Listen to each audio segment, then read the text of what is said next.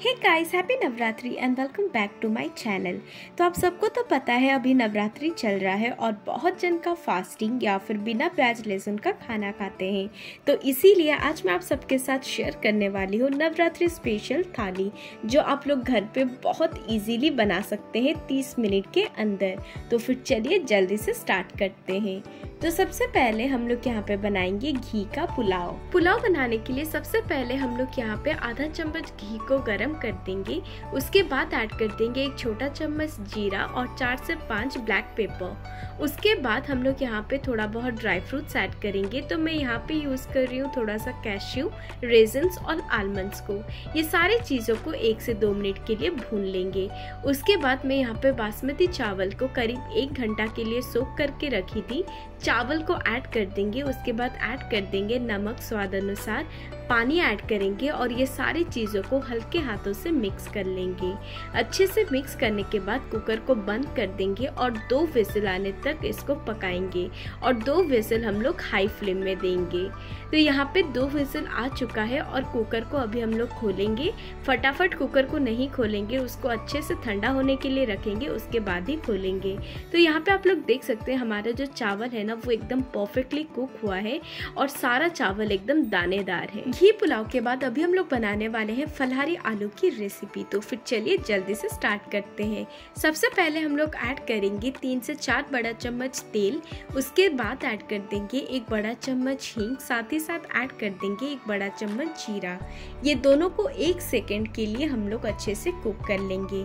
उसके बाद इसके अंदर ऐड कर देंगे तीन से चार बारीक कटा हुआ हरी मिर्च और इसको भी एक से दो मिनट के लिए कुक कर लेंगे। तो ये आलू का रेसिपी बनाने के लिए यहाँ पे मैं बॉइल करके आलू को ऐसे क्यूब्स में कट कर दी हूँ। ओवर कुक बिल्कुल भी नहीं करना है। हम लोग आलू को तब तक पकाएँगे जब तक इसके ऊपर एक हल्का सा ब्राउन कलर का लेयर ना आ जाए। तो यहाँ पे अच्छे से मिक्स करेंगे और स्लो फ्लेम में कुक करेंगे पाँच से छः मिनट के लिए। तो उसके बाद अभी हम लोग यहाँ पे ऐड करेंगे एक छोटा चम्मच जीरा पाउडर, नमक स्वाद अनुसार, मूंगफली को हम लोग यहाँ पे रोस्ट करके क्रश करके यूज़ कर रहे हैं। ये सारी चीज़ों को अच्छे से मिक्स कर लेंगे और कुक करेंगे एक से दो मिनट के लिए। तो यहाँ पे हमारा जो आलू है ना, ये एकदम रेडी हो चुका है। ऊपर से ऐड कर देंगे बारीक कटा हुआ धनिया और इसको फिर से एक बार मिक्स कर लेंगे। और हमारा जो फलहारी आलू है ना, ये एकदम रेडी हो चुका है। तो अभी मैं आप लोग के साथ शेयर करने वाली हूँ विदाउट ऑनियन गार्लिक का शाही पनीर की रेसिपी और वो भी वाइट ग्रेवी में। तो ग्रेवी बनाने के लिए मैं यहाँ पे कुछ मगज, काजू और आलमंड्स को सोक करके रखी हूँ आधा घंटा से। उसको एक ब्लेंडर जार के अंदर ट्रांसफ़र कर लेंगे थोड़ा सा पानी के साथ। इसके बाद ऐड कर देंगे थोड़ा सा हरी मिर्च और थोड़ा सा अदरक। और ये सारी चीज़ों को एक फाइन पेस्ट बना लेंगे। तो यहाँ पे हमारा जो पेस्ट है ना, एकदम रेडी हो चुका है, इसको अभी साइड में रख देंगे। तो व्हाइट ग्रेवी बनाने के लिए सबसे पहले मैं यहाँ पे ऐड कर दूँगी थोड़ा सा तेल। उसके बाद यहाँ पे हम थोड़ा सा लेंगे ब्लैक पेपर दालचीनी, उसके बाद इलायची का जो बीज होता है वो और थोड़ा सा तेज पत्ता। ये सारी चीज़ों को एक से दो सेकेंड के लिए कुक कर लेंगे।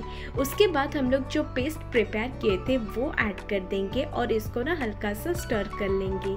ये जो पेस्ट है ये नीचे चिपकेगा क्योंकि इसके अंदर हम लोग सिर्फ़ ड्राई फ्रूट्स का यूज़ किए हैं। इसीलिए हम लोग इसको एकदम स्लो फ्लेम में कुक करेंगे। तो अभी मैं ये मसालों के अंदर ऐड कर दूँगी एक ग्लास पानी और ये सारी चीज़ों को अच्छे से मिक्स कर लेंगे और इसको बॉईल होने के लिए रख देंगे करीब पाँच से छः मिनट के लिए। तो यहाँ पे आप लोग देख सकते हैं बॉयल आना स्टार्ट हो चुका है और हमारा जो पानी था, वो भी सारा ड्राई हो चुका है।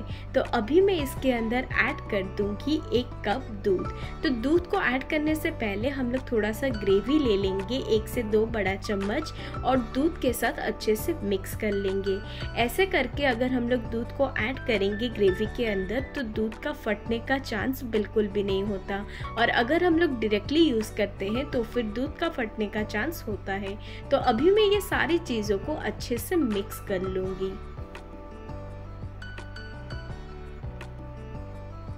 अच्छे से मिक्स होने के बाद ऐड कर देंगे नमक और फिर से और एक बार इसको मिक्स कर लेंगे। तो जैसे ही ग्रेवी के अंदर हल्का सा बॉईल आ जाएगा ऐड कर देंगे फ्रेश पनीर।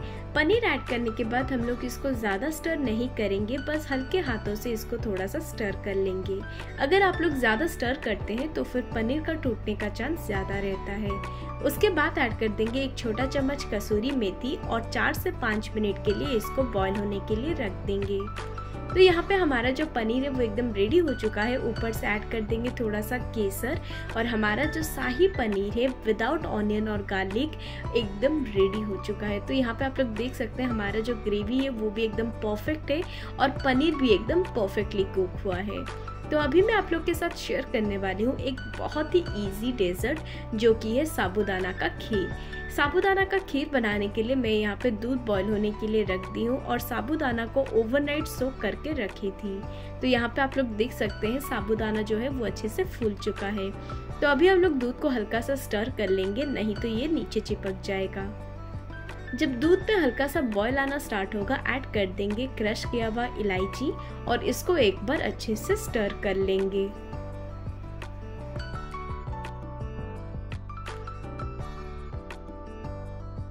तो यहाँ पे हमारा जो दूध है ना, वो काफ़ी अच्छी तरीके से बॉईल हो रहा है। तो अभी मैं इसके अंदर ऐड कर दूँगी सोप किया हुआ साबुदाना।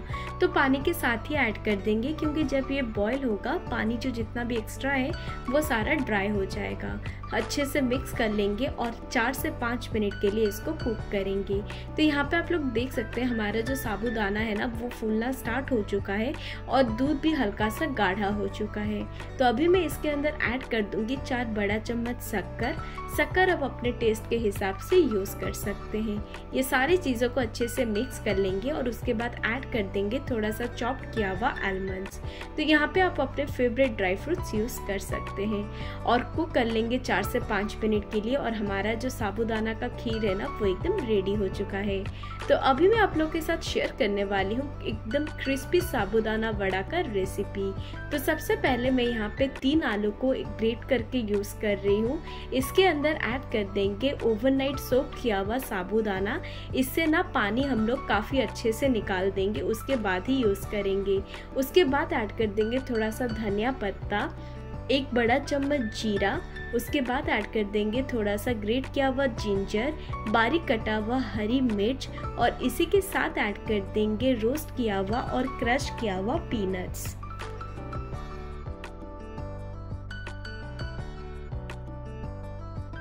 तो अभी मैं ये सारी चीज़ों को अच्छे से मिक्स कर लूँगी। हमें ज़्यादा इसको प्रेस नहीं करना है, बस हल्के हाथों से ये सारी चीज़ों को अच्छे से मिक्स कर लेना है। तो सब कुछ अच्छे से मिक्स करने के बाद लास्ट में ऐड कर देंगे नमक स्वाद अनुसार और फिर से ये सारी चीज़ों को अच्छे से मिक्स कर लेंगे। तो यहाँ पे हमारा वड़ा का मिक्सचर एकदम रेडी हो गया है तो फिर चलिए जल्दी से इसको वड़ा का शेप देंगे। तो वड़ा का शेप देने के लिए यहाँ पे हम लोग एक बॉल ले लेंगे डो से और इसको जैसे टिकी हम लोग शेप देते हैं ना, वैसे ही एग्जैक्टली करेंगे। उसके बाद बीच में एक छोटा सा होल क्रिएट कर लेंगे और हो गया हमारा सागुदाना वड़ा एकदम रेडी तो फिर इसी तरह हमें बाकी वड़ा को भी प्रिपेयर कर लेना है।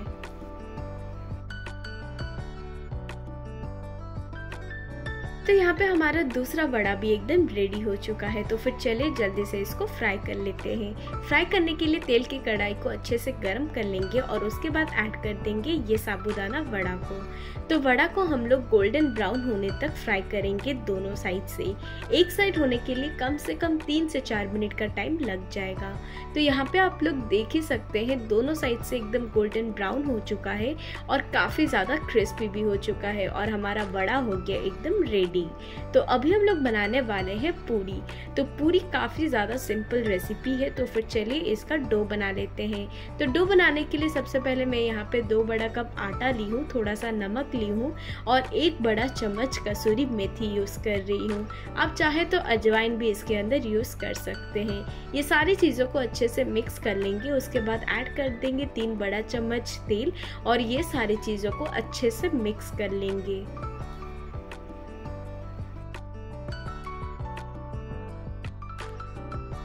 तो अभी हम लोग इसके अंदर ऐड कर देंगे पानी और इसका एक सॉफ्ट सा डो रेडी करेंगे। और जब डो अच्छे से रेडी हो जाएगा, उसको कम से कम हम लोग आधा घंटा के लिए रेस्ट के लिए रख देंगे। डो हमारा जितना टाइम रेस्ट होगा, हमारा जो पूरी बनेगा, वो उतना अच्छा सॉफ्ट फ्लपी और फूला फूला बनेगा। तो यहाँ पे मैं सारा पूरी को रोल आउट कर चुकी हूँ। तो फिर चलिए जल्दी से इसको फ्राई कर लेते हैं। तो यहाँ पे आप लोग देख सकते हैं, हमारा जो सारा पूरिया है ना, वो काफ़ी अच्छे तरीके से फूल रहा है। तो ऐसे ही हम लोग सारा पूरियों को फ्राई कर लेंगे।